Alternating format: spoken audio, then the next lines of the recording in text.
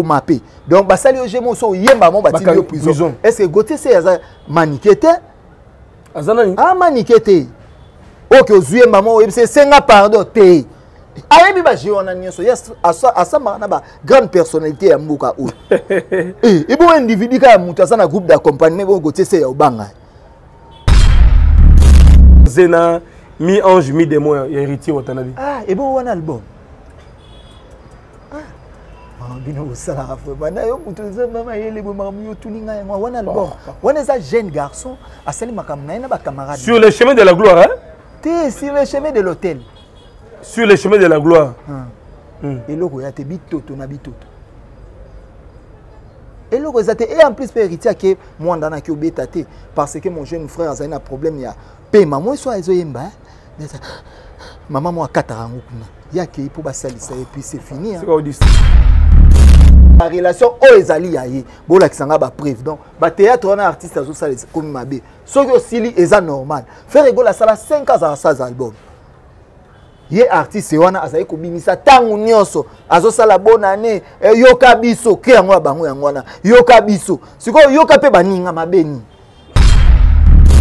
derrière na ye ya oyo bato bakanisa toza motema mabe envers artiste ignorant fali pupa mabe eza ke trésor congolo akoma lisusu monde na, mingi na monde politique azalaka mingi na bajournaliste oyo ya mosala ya politike meme na bino nde bosalaka nyonso donc alors mpo na koassiste ndeko gautier se eza eloko te jour ekoyaka na ngai mpe nakokende eza grave te tozoya otala ndeko na biso ndenge azobeta motu kao omoni kosila lelo soki moto akomi okende na liwa basini ezalaka nga koko na biso ayebisaka nga junior soki nakomi kokufa osentir ke naoza na paralyse na liboko ya gauche sikoyo ye mpe artiste oyo kokufa na ye ebandi komonana mpo ebele eya ya minene me akangisa motu te balingai fara fara wana nde efale ezala place moko place balingai bacomprendre est ce que ye mpe fali yango yo ozoloba obeta obeta te faut de dommage na ogoti mambo ya nao minene yo ozoteli ya obeta obeta nini oh ebo oyebi te mambo oyo akendaki kofunda ebalukela ye goti aza na baavoka oyo bazopese mpe aza na baargument oyo eza bien ozala solide mokolo ama ezalaka eh, kao brise lizubi li mwana ngani e en plus gotier mpe azosenga bi fo basamba bango mibale na fali eh, motu afundi motu na goti andimi bafundi na bango ye me bakosala deba wana oyo mopanzi na bavoka na ye oyo mopanzi na bavoka na ye voilà makambo ifo ekende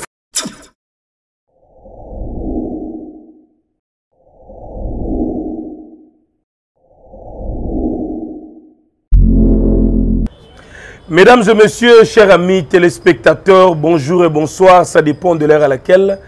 vous nous regardez sur Équilibre Télévision. Nous sommes à Kinshasa, la République démocratique du Congo. Jérémy Lemba, les renards du désert devant vous. Abonnez-vous, commentez, partagez également cette émission. Un clin d'œil spécial à Mimi Ndoumé depuis Mouchingla, Banakat Salman, Mimi et Bandoumé. Je vous salue. Merci également à Sema Mayasi, femme légitime. Il y a Jean-Si Forza Italia, pourquoi pas mon vieux. Gérard Saddam dans Manchester, les célèbres Dien dans Washington. Et merci également à tous les amis qui nous captent à travers le monde entier. Mesdames et messieurs, l'affaire Gauthier Sey et Fali Poupa est toujours en cours. Rendez-vous le 9 septembre dans deux semaines. Entre-temps, euh, nous sommes là. On va tenter quand même de parler. Euh, je crois que Gauthier Sey se porte bien. il n'est pas encore notifié donc aza na ye libre koporte motu plainte cela ne veut pas dire ke bakangi motu donc tokozela confrontation tokozela ndeko mpe fali ipupa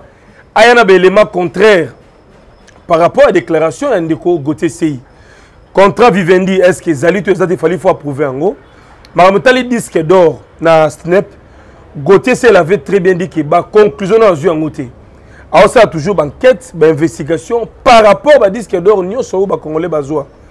donc et vos apaisements je suis là avec un congolais lui c'est yampaka yampaka azali la bouche autorisée voix autorisée quand même bagolois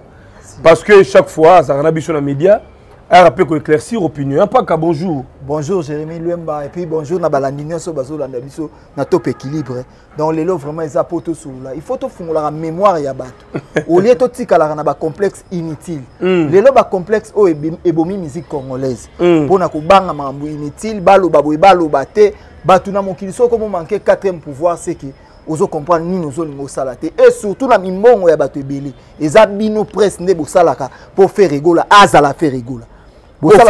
azala fali kofi olomide azala kofi olomide sans bino donc presse ou rien sans presse mama mutu ekotambolaka te très bien merci beaucoup ya mpaka d'abord oza mpe eh, moko ya bagrand gaulois lelo ozomona dossier yango namoni gautier sei azalaki na, na parquet na, na, na, na parquet ya je dirais même na tribunal de paix ya gombe hier mais azalaki mpe soutenu mpa bagaulois ebele namoni trésor congolo mpe azalaki wana bureau ya ferre est ce que boza mpena derrière ndeko kote se donc kozala derrière na ye ya oyo bato bakanisa toza motema mabe envers artiste ignorant fali pupa mabe eza ke trésor congolo akóma lisusu monde na mingi na monde politique azalaka mingi na bajournaliste oyo ya mosala ya politike meme na bino nde bosalaka nyonso donc alors mpo na koassiste ndeko gautier se eza eloko te jour ekoyaka na ngai mpe nakokende eza grave te tozoya otala ndeko na biso ndenge azobeta motu kao omoni kosila lelo soki moto akomi okende na liwa basini ezalaka nga koko na biso ayebisaka nga junior soki nakomi kokufa osentir ke naozala na paralyse na liboko ya gauche sikoyo ye mpe artiste oyo kokufa na ye ebandi komonana mpo ebele eya ya minene me akangisa motu te mpe akangisi na egotie sei te akende kofunda ye ake kofunda me olandaki avocat alobi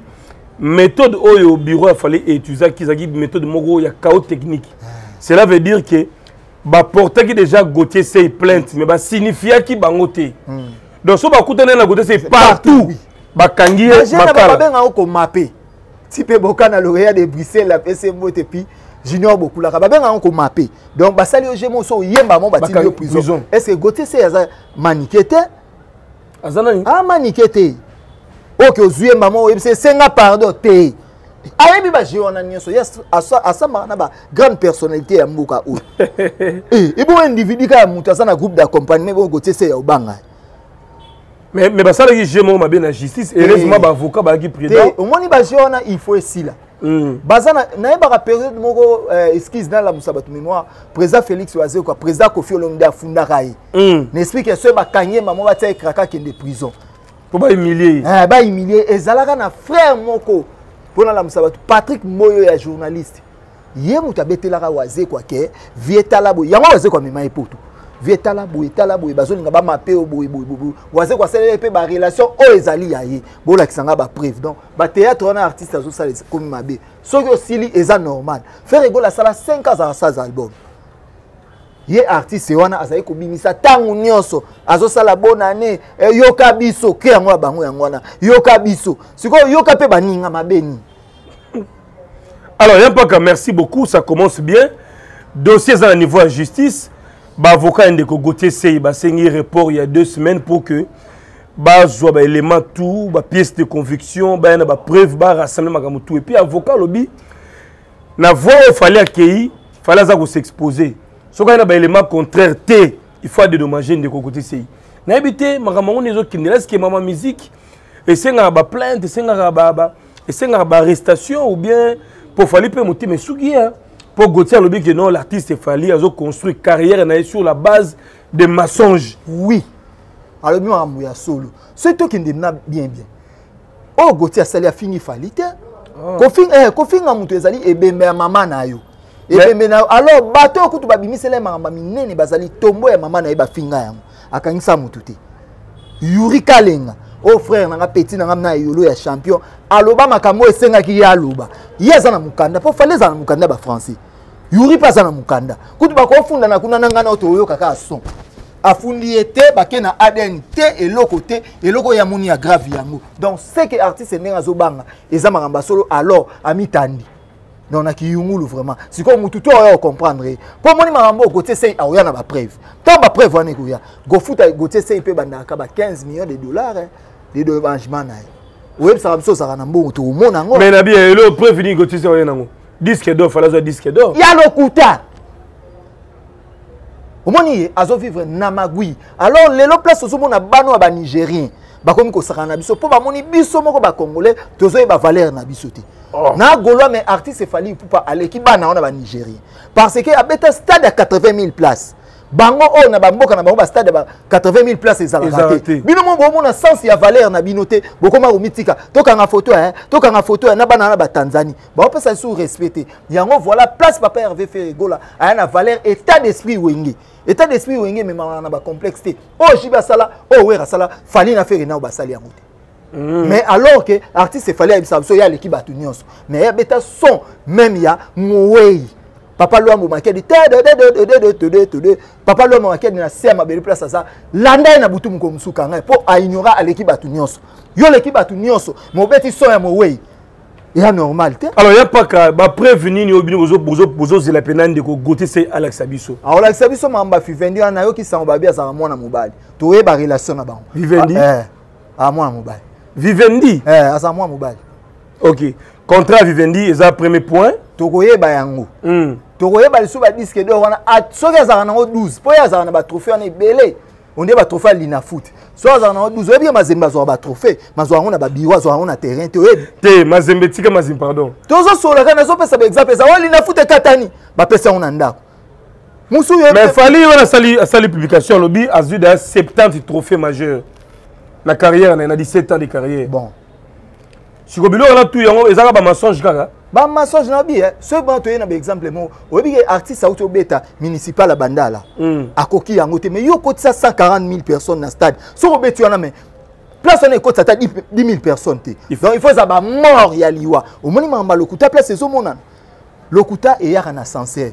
verité eye malembe malembe yango lelo tokomona baverité oyo mutu to azo comprendre na mwana mbwa soko ye na ye so atali fali oyo oh, mutu ya lokuta ah mais oui mais bino na congo bokomisi fali mutu ya lokuta mutu ya démagogie mensonge tozokamwa yango eh, fali basali baexploit ebele siko gautier se atelemeli fali na avocat na ye namoni guy, euh, guy euh, mafuta guy mafuta très déterminé mm. ke fali ndenge aza bongo akoti na faux terrain faux terrain soki aye na baélément contraire te akodédommage ah. Gauthier Sey. Alors Gauthier Sey dédommagea mené et banda na 15 millions d'euros. Faut avoir dédommagé. Ah. Droit na ye. Ah, droit na. 15 millions d'euros. Mon place à Makan. Moi c'est artiste et papa Zokene Boloko. bokoyemba banzembo bayembela na boloko mais attention bato afali baa trop sûr déjà ah. gotia okangama bilobaloba ekobomisa gotie nalobi influence oyo bango bakoki koluka koya na yango nyonso esimba te omoni bainfluence oyo bayaka nango epai na bato lokola biso ayebi ke moyen azwa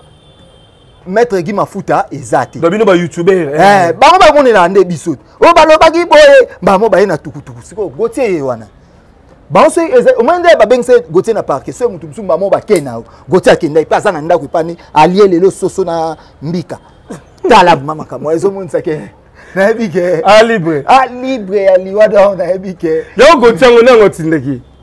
ah. asali barecherche na ye papo ya musique ya congo mais bazalaki de bazalaki ezalaka debat contradictoire manix mutafali na gotiesiko nalobi eh. eh. bango baloba makambo nyonso mpo na fere fere ayebi kotanga te fere ayebi kokoma te fere aza boye alie ndeko na ye fere atuva nyonso normal mpo ayebi ke aza star donc fali aza estar baestar motu bazala na comportement na e wana elingi elekisa comportement mabe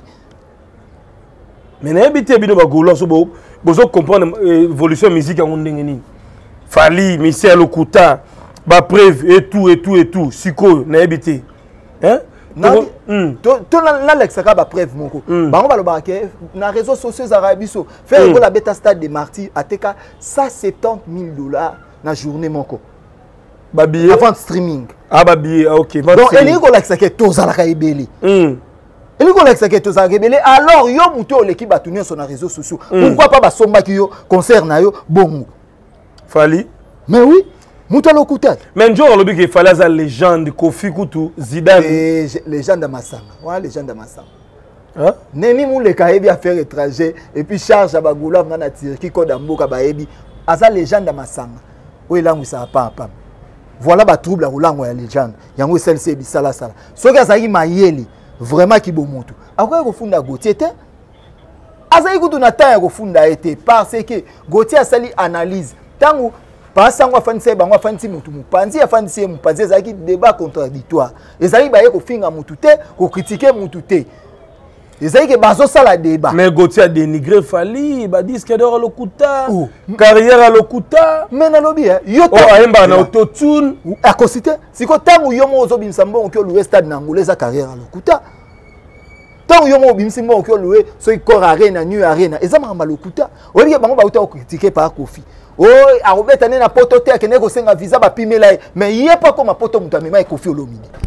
à l'époque mais oui mpo akoma poto lelo tolobaki akenda poto boyeboye kofi olomide omoni sens na manquement ya valeur kolela mokolo epesaka mao voilà kolela kofi epine na kikoso voilà merci beaucoup ya mpaka alors évolution quand même ya jet set euh, le, le mouvement cher ya ferigola déjà c'est neuf baza na grand concert na mwanda mwanda eza ville ya bapétrolier ville ya bato ya mbongo mm, mm, mm. bamindele baza kuna epuis ya une forte population na koto kuna me babi ke ferre tournée américaine ekomi ya congo central nayebi te eza nini bino mpe toza na problème moko boye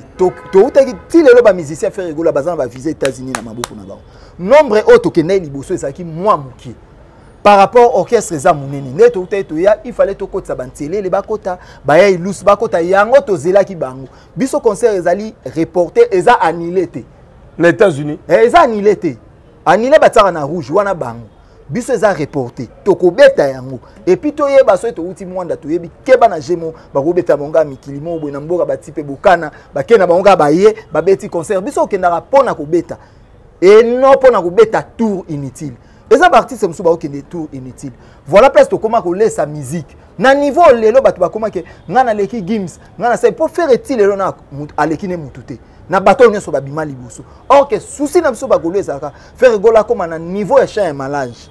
akóma na niveau ya baprinte oyo bapapa tabulei batika donc ti lelo nao tomoni faire egola na akomi na niveau ya papa wemba te moyen tokritike bato eza te moyen tofinga bato eza te souci na biso ezalaka topousse fere na biso akóma na niveau wana donc tournée américaine eza, eza annulé te ezali ezali tokende yango kala te ya ah mais bawario baoseka bino makasi oh, no ekomi na mwanda tout ça mais est ce que concert mpe ya mwanda eza mpe utile quand même mais non congo eza monene avant ozala monene na epai bapaya ifo banda monene na mboka na yo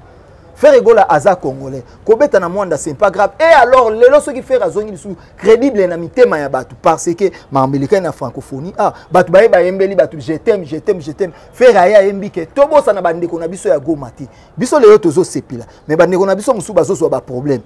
Et en plus na ba étranger nyoso bazaki ba fani nie bazotuna na anglais alobi nini. tala alobi boye alobi babi oui c'est vrai bato ebele oyebi ke il fallait baya francophonie misu baya te bazobake mboka wana ezalaka na guerre baye bamoni mpe epuis frere gola apesi message ke congo tozala ini tobosani boye te na bana basoda oyo baparent na bango bakufa bazali satisfait très bien alors tokotala concert ya mwanda espérant que kuna mpe kozala plein mpo wata mpe aza na mwanda bakocroise na mwanda otali baconcert ebetami ebele oyo bagese babeti eh. maestro abeti na bukavu partout bonne chance, partout bonne chance na bango nyonso mais oyo nyonso ozotanga c'est génération ferigol ebon yo oyebi te na chine babengaka fali petit feri ah? na chine babengaka fali petit feri mm -hmm. eh. donc bango tu ya mokolo nde feri C'est bien moi, votre frère, le pasteur Israël Nash. Je vous salue au nom de Jésus. Je suis précisément à Kinshasa. Naza responsable ya Ophelina. Jésus est mon papa. Naye liboso na bino pour na représenter bino bana o bozo mona na bilili pe ba difficulté toza nango. Na bandaki musala oh ça fait longtemps ya koboko la bana selon ainsi dit l'Éternel. Mais ba difficulté eza mingi difficulté ya loyer parce que tozo futela et puis difficulté ya kofutela bana minerval mpo tozwi tobandaki topesaki avance mais etikali ndambo nazobanga ke bana oyo bakata classe bakoma nango na suka te c'est pour cela dieu m'a mis au cœur na lance message oyo na bato nyonso ya motema malamu basunga bana oyo bozomona na bilili bana oyo bozomona na bilili ndambo nazwi na rond point ngaba ndambo victoire ndambo limete epuis ndambo leta apesi ngai mpona bandeko na ngai nyonso bacongolais boyebi barealité nini topase na yango na mboka soki ngai simple individu nandimi kozwa bana oyo nabokola na ainsi dit l'éternel soki leta se décide tomona su bafaser na nzela te c'est difficile ya kosala yango ngai moko c'est poussea nazolanse appel na bana nyonso ya nzambe mpo na classe ya bana oyo mpo na loyer na bango kolata mpe kolia na bango naosenga na bato nyonso baza cœur sensible mpe baza na motema kosunga basunga biso mpe basalisa biso toza na commune ya kalamu quartier kauka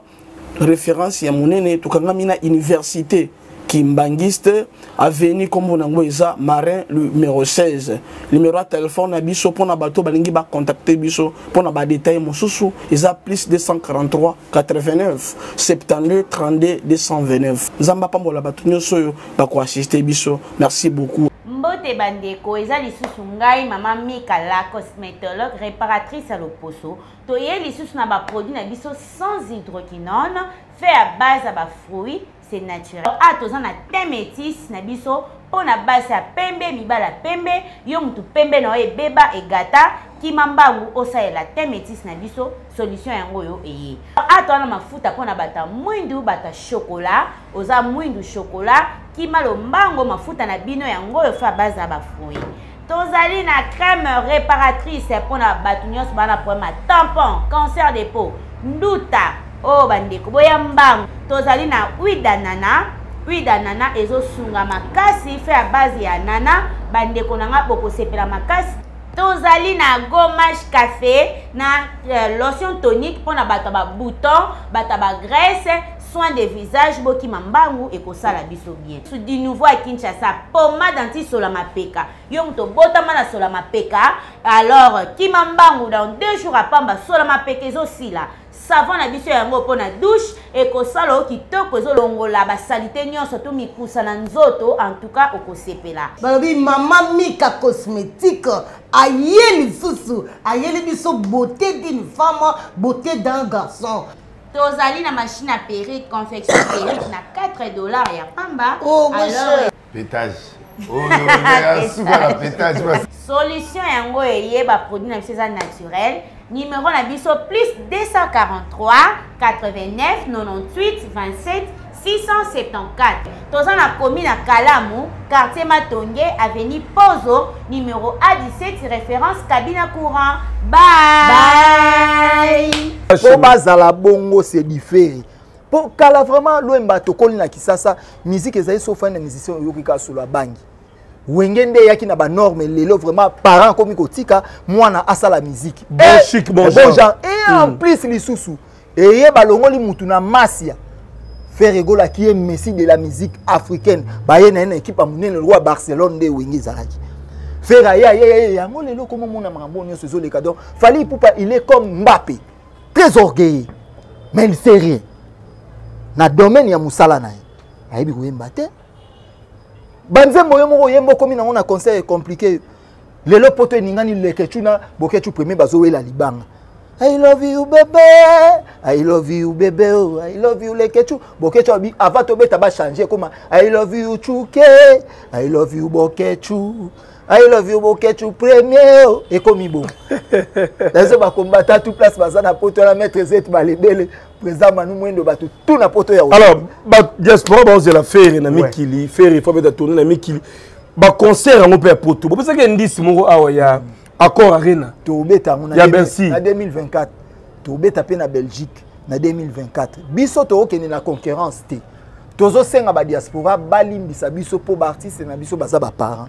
babokolaka bana na bango na mosala wana soki bakoki kopermettre biso tobeta biloko wana mibale esala bien tokoexagere te mais tobeta yango quand même bamusicien wana mosusu baza mpe ya bandeko bana oyo babokolaka barentre yango soki bango baondima toza na besoin ya autorisation na bango mpo tobeta yango toza na concurrence te tokolakisa bango te ke biso mpo fere azala fere bato wana mpo to bacontribua lelo bamusicien na biso mpe mpo bazala ndenge baza ezozanga kaka appui na bango lisusu mpo oyebi nyonso euta epai na bango toza na concurrence te bapermettre biso tobeta esalami alors fara fara ya fali na fere en distance le 25 novembre mm. fali you arena ferre na sofitel na côte d'ivoire hôtel ya abidjan ah. le même jour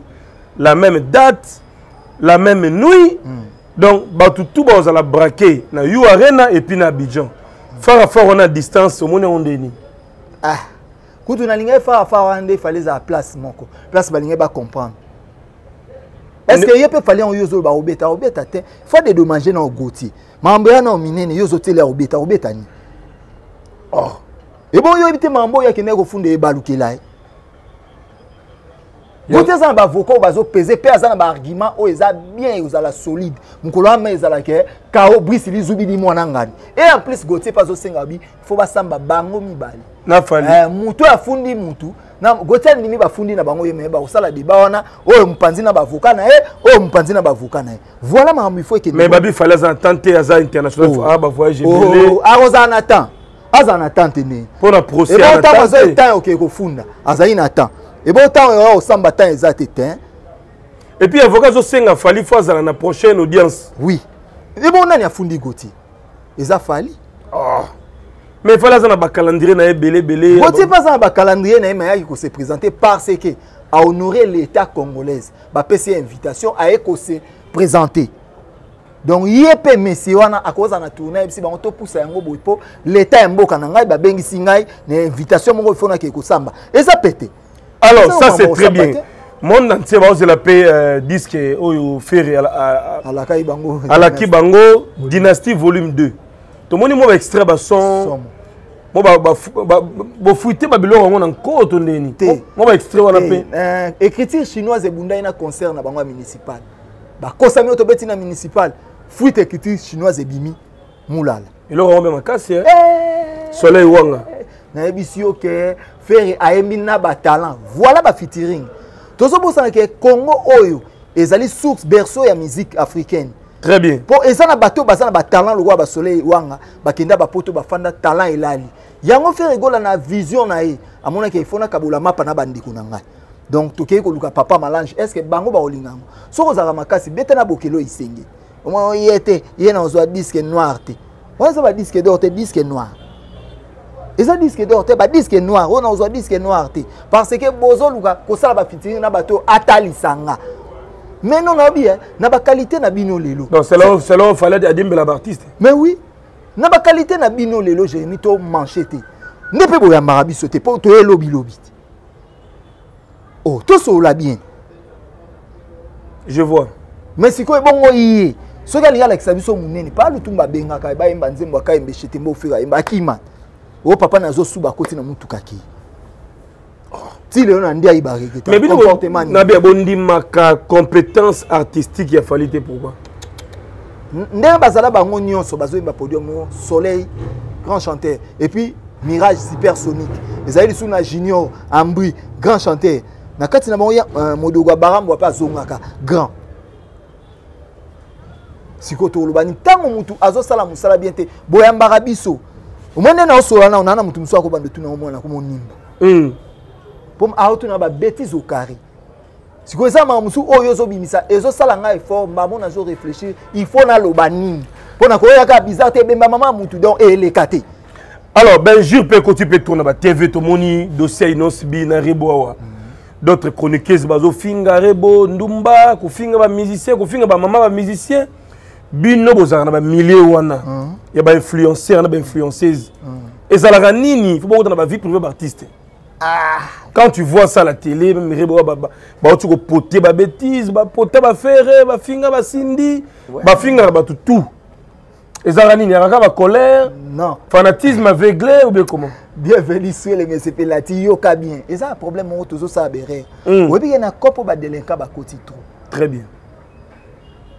motu moko bomona ye mosusu azani analphabète mais lokola kaka eza akoloba bato bakotindele mbongo na poto eyesi makambo isaunga nona 9 fois bino bato botindelaka biso botalaka mpe façon nini tozoya koloba nde tofandi no boye ngai artiste efali ipupa nasepelaka na ye nde te kolinga ye te eza no aza ekelamu ya nzambe mais nakoki kozwa temps ya kofinga mama na ye te nde nafandi na yo parce que ntango asala miziki wana mama na ye atinda ye te na kofinga mwasi na ye te mpo ezali foye na ye soki nakoloba nakoloba ke baetape oyo ye aza nango makasi te bamagui na ye asalaka asalaka wana sava donc to evite biloko wana ezozala na sens te nde tokofinga fali lobi mpe so olongo ofinga fere eza biloko moko très bien eza biloko moko ya mpaka très sage merci beaucoup alors toyoki bafuite biso sur date epai ya virginie manganga awa mm. babi le 20 septembre dynastie 2 sur le terrain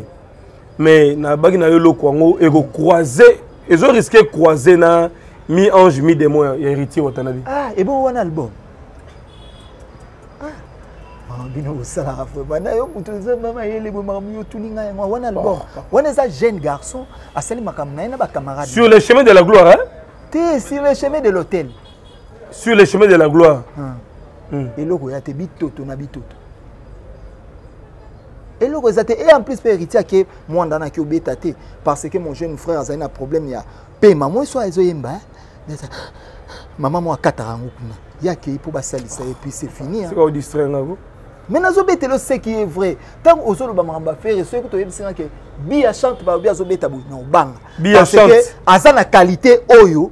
soki na bayembi na fere boye ezala danger beritier baza na baqualité wana te mais oyo tope grand chanteur te aza grand chanteur te ayembaka ayembaka nde aza grand chanteur te ah wata te aza grand chanteur te ye moko ayebi place aza azotala wata nalingaka ye mingi to torino ya tembe moto ya bato na ngai ya bamaître cd alamba ya badodi shungu ya bamaître romarique place oza vraiment napesi yo mbote et en plus bienvenu suele bienvenu suele mais c'est penalty mais héritier n'est pas aza na belle voix mm. mais ayebi nde kosalela yango te azalaka pressé il fallait normalement ne fere alongwaka alanda fere mpo bacour esila ye te mm. oui yampaka merci beaucoup je pense que bagolo bayebele baotala biso ouais, ouais, ouais. de partout à travers le monde entre temps je dis merci comme ça à mon vieux Gérard Saddam na Manchester, les célèbres Dienzoundou na Washington, Mimi Ndoumé na Moshinglaba, Mimi Abandoumé, je vous salue très respectueusement. Alors, nous nous sommes là. Abonnez-vous, commentez, partagez le lien. Na bato ba monio lelo. Mhm. Message clé au komisa ba congolais ba mélomane eza nini? Tomoni Fera Betty martyr et Tombola Ferre. Aye susu kobeta.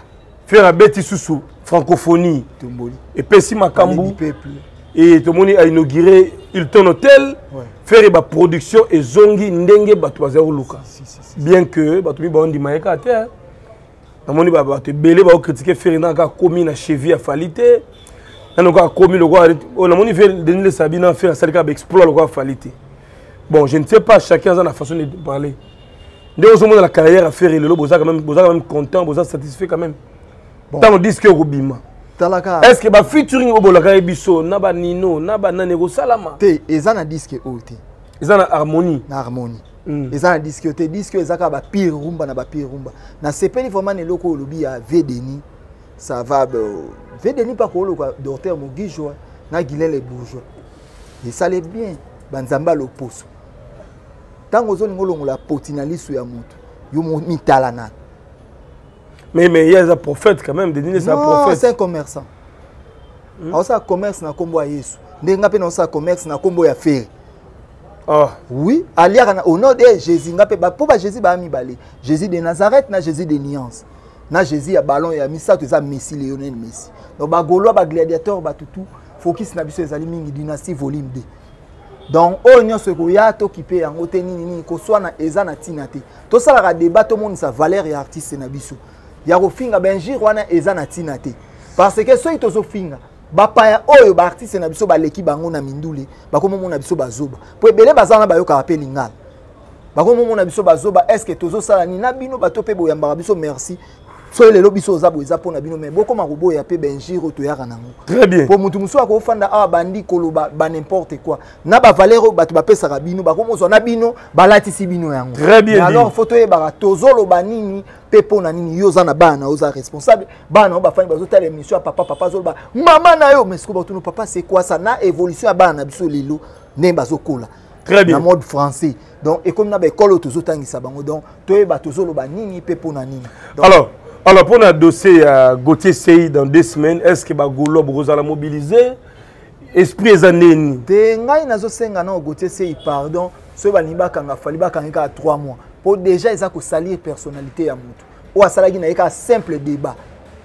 mpo na simple débat wana soki mpe biso tolobi tokangisa motu azalaki mopanzi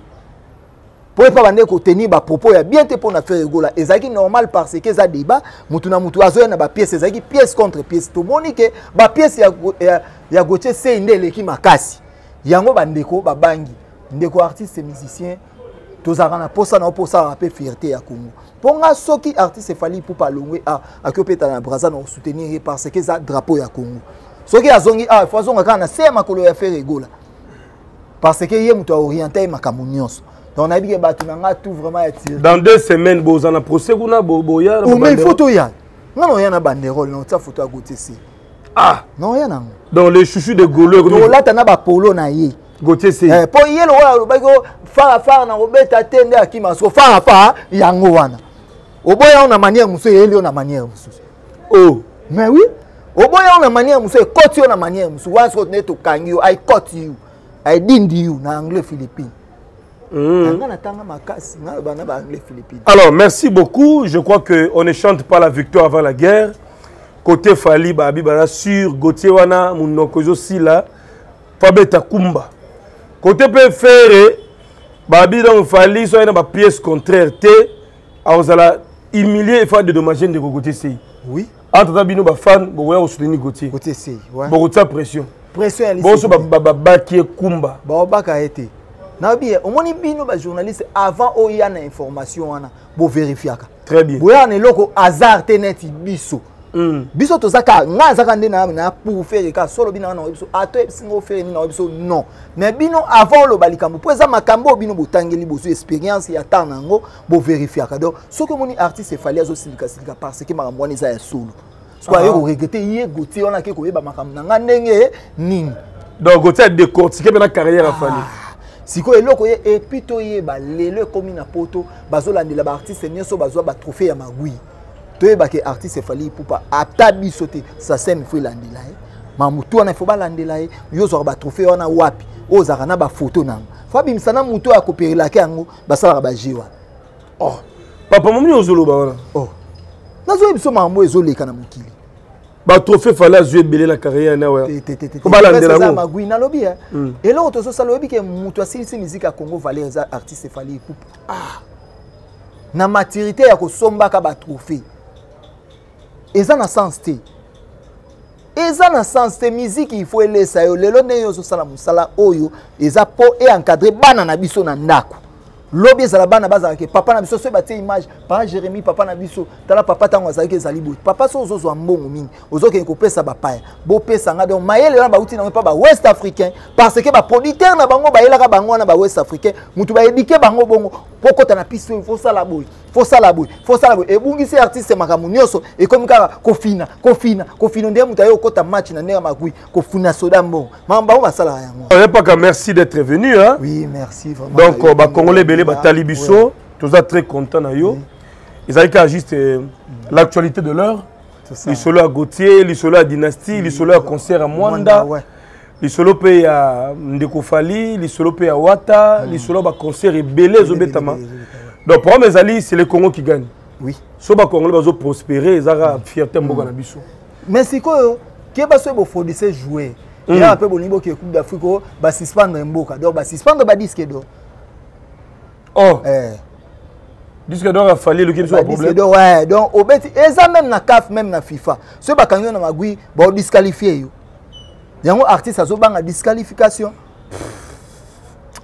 merci beaucoup ya mpaka numéro ya telefone hein? plus 243 89 80 72 700 nayebi ke yves cleter mobali aza na ma na turquie boda fashion bato na nga bienvenue sur le messe penalty epuis soki natali natali natali jonathan makengo pretre bato na nga vraiment nayebi ke bato na nga to ya turquie napesi bango mbote eh, élégant tour et élégant de paris napesi yo mbote rodrik panza mais nyonso ekoleka elamba ekoleka te mm. donc nyonso ta femme te quittera tes enfants mokolo demeure ya suka balobaka bai bai papa mais elamba nde okende yango donc elamba yango eza mayatomo maya mutwa tolata vraiment mayatomo griffe du moment sorti officielle na yango kala te na oyela yo bachemise na yango etu etu tonton maya jeremi lwemba oyebi na makambo wana ifo ya ye mpe ezala po voilà abenga biso na inauguration aobenga tolobelinvitation eza tolakisa yango eza wi bato bayeba un peu partout ouais, sans presse mawa mingi bato bakomobundisa bino hmm. okomi ya danger quatrième pouvoir quatrième pouvoir babundisi bino mais balobaka na français toute vérité n'est pas bonne à dire ndeko gautier alobi la vérité oyo esui faliani baloba lisusu omoni ndoki belela na lingala mpe baloba bongo baloba nini so omoni ndoki belela